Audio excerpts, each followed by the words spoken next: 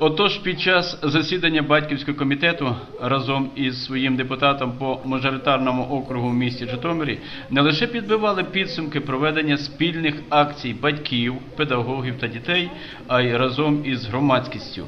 Депутат у багатьох питаннях допомагав одному із найстаріших у Житомирі дошкільному закладу.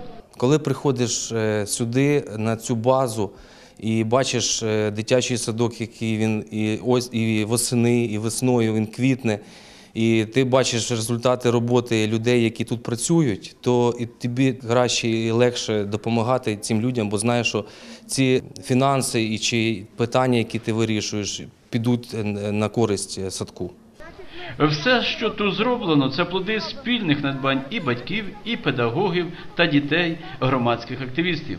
Гордяться тут також і педагогами, які стали переможцями, до речі, вже в цьому році міських, обласних та всеукраїнських конкурсів. В цьому році вперше в Україні стартував всеукраїнський конкурс Вихователь року.